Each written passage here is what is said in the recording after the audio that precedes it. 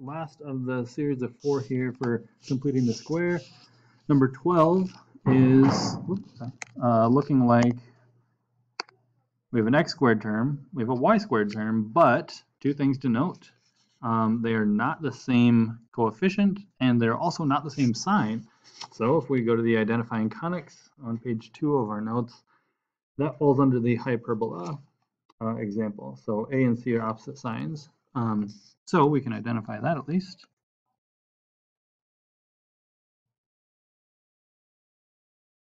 Okay, done. Check. Okay, next step it says to go ahead and uh, convert that to standard form. So step one, as always, we group all of the x terms together and then the y terms together. And at the same time, in that same step, we move any constant terms to the right.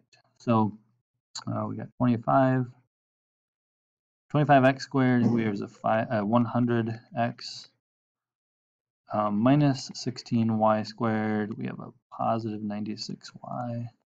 Uh, and while we're at it, we're moving that 444 by adding it to both sides. And now we get to actually complete the square.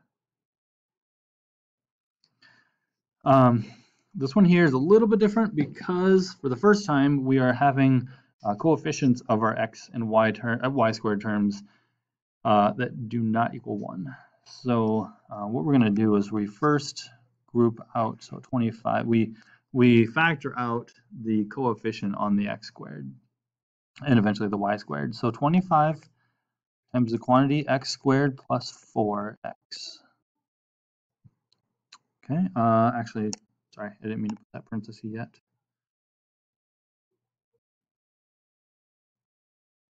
Because, um, no, you know what, I, I should. Um, sorry, I do want to make sure that I do these in enough steps so I don't group too many steps in, in one line. So uh, we'll just factor that out. Um, I believe that is 6.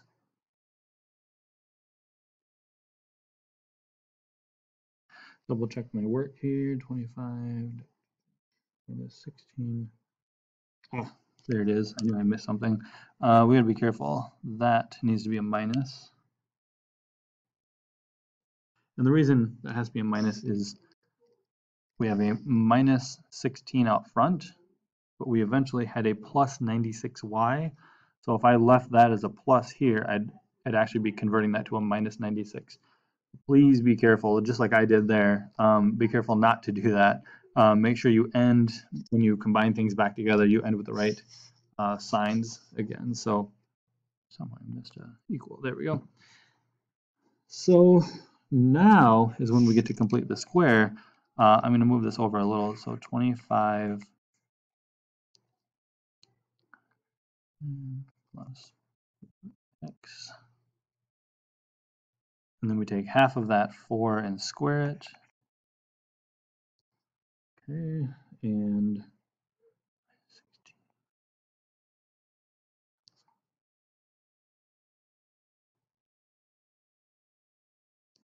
half of negative 6 squared.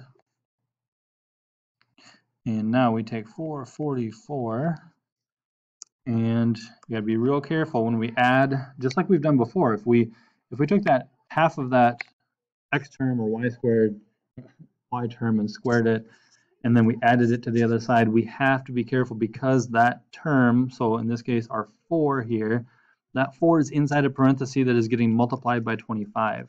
So please be careful. We have to add 100. We don't just add 4, we have to add 4 times that coefficient.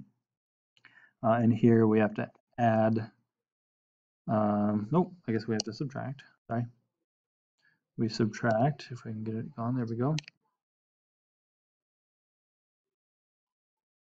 Uh, 16 times 9, if you know your uh, squares, uh, that's just minus 144. So 16, 9, 144. So now we can take and actually write these out. So 25, uh, sorry, write these out as squares.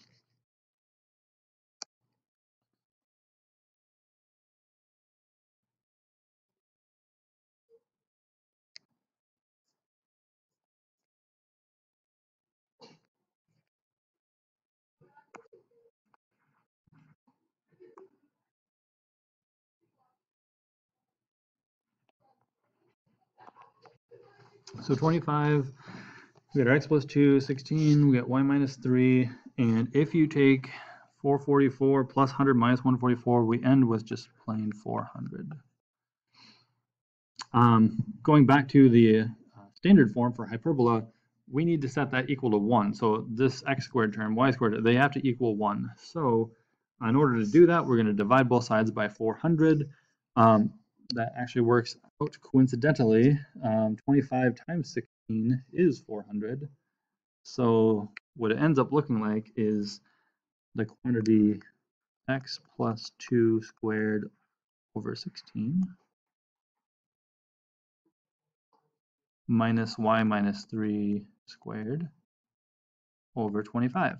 And that all equals 1.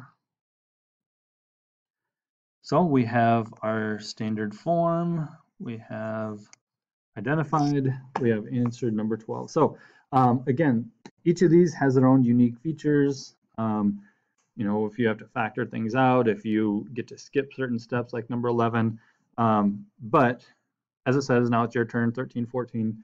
Um, also, there's plenty of practice problems at the end of the packet too. So um, there it is. That's completing the square. That is everything we need to know in order to finish uh, conics. So, good luck.